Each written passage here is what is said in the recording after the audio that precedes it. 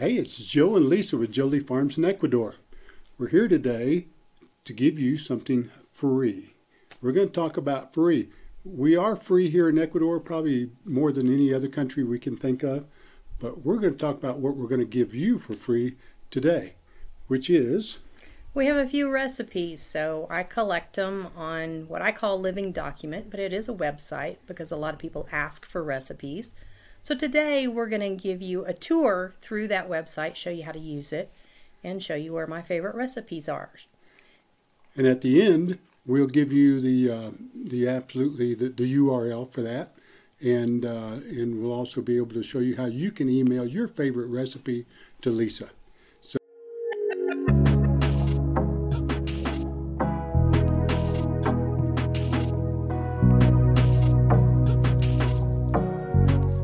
Okay, so here's the website. This is what you see when you first come in. There's recipes, so I have a drop-down menu where you can easily go to the different topics. And then I also have natural remedies, which will take you to a page where I collect all my little remedies. So the first page, um, I kind of categorized it between veggies, main dishes, soups and salads, etc. So each one of these pictures you can actually click on and it'll take you to the recipe. So this is a free website, so it's limited in what you can do with it, but it works pretty good for what I need it to do. Um, I tend to do what um, is called healthy keto, so it's a lot more vegetables than necessarily carnivore. Um, so I like treats, and for me, these are little bacon wrapped treats, but you're still getting the asparagus. So you can scroll through these at any point. You can come back and go straight up to the top and it'll bring you back up and you can scroll back through. There um, are more recipes than pictures uh, because I did kind of run out of room. But just to give you some ideas, we have bread. Bread is a a nice thing to be able to create.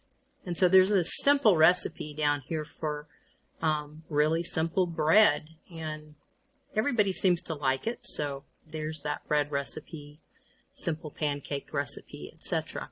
So, but you can always go around. Spice blends is another one, as we've told you before here in Ecuador. Um, you can't always find spices or spice blends that uh, you used back at home. So here we have like the Cajun spice recipes. So all of these I can grow or get here locally and then I can just blend them up and create different um, seasonings that I'm used to uh, back in the States. So all-purpose seasonings and uh, pumpkin spice, super important. Um, you can make the uh, sweet potato pie and add pumpkin spice to it and it tastes like a pumpkin pie ranch seasoning, um, the dry rub for the barbecue. Uh, I use this one a lot. Uh, really adds to the flavor of the barbecue. So all of those are there. And uh, traditional dishes, when you're not feeling very keto, you can uh, venture out. So these are some of our all-time favorites um, that we can still make here in Ecuador and get a taste of taste of home. Uh, beyond the recipes uh, are the natural remedies.